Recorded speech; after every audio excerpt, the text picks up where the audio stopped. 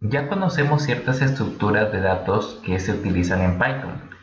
Ahora lo que tocaría sería ver otro concepto. Este concepto es el concepto de ciclos. Un ciclo se entiende en la programación como eh, repetir una cantidad n de veces o siempre y cuando se cumpla una condición eh, eh, ciertas instrucciones. Eso es básicamente un ciclo y existen dos tipos aquí en Python. El primero de ellos es el ciclo while y el segundo es el ciclo for. En este video vamos a ver lo que, de lo que trata el ciclo while y cómo declararlo. While se traduce en español como mientras, por lo tanto la instrucción traducida sería mientras exista o mientras esta condición sea verdadera, ejecútame las instrucciones que tienes por debajo. Y eso se traduce básicamente al momento de nosotros declarar el ciclo. Y pues cuando escribimos un while escribimos como lo acabo de decir, mientras exista o sea válida esta condición, tú vas a hacer una cantidad de instrucciones que se van a repetir.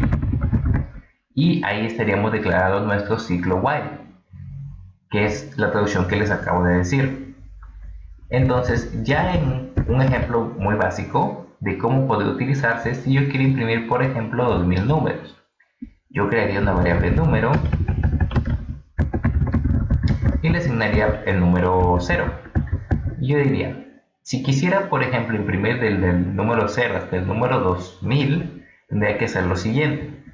Ahora, print número, luego agregarle al número, le asigno el número más 1 y otra vez volver a imprimir número y repetir estas instrucciones así hasta que se impriman los 2000 números. Pero eh, los ciclos pues, nos ayudan a facilitarnos estas cosas. Yo puedo escribir simplemente while, es decir, mientras se cumple una condición, que el número sea menor a 2000, por ejemplo, 2001, y voy a decirle que imprima número y luego que a número le asigne el número más 1. Y esto sería todo el código que necesitaría para hacer esa, esa eh, impresión de toda la cantidad de números que les acabo de mencionar. Entonces, con estas cuatro instrucciones y con tres hemos hecho todo, todo el ciclo. Y si yo ejecuto, por ejemplo, aquí en mi terminal este script, python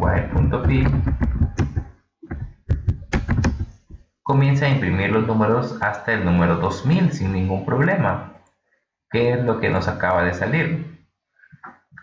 Entonces, me ha ahorrado el trabajo de escribir eh, muchas líneas de código con solamente estas cuatro o tres instrucciones como tal. Y esas son las facilidades y la ayuda que nos brindan los ciclos, tanto el ciclo while como el ciclo for. En especial el ciclo for, que es el que nos va a ayudar a recorrer ciertas estructuras, que es lo que vamos a ver ya en el siguiente video. Pero por ahora ya tienes el concepto de ciclo while y la facilidad con la que este se usa para hacer que se repitan ciertas eh, instrucciones cuando la condición sea verdadera.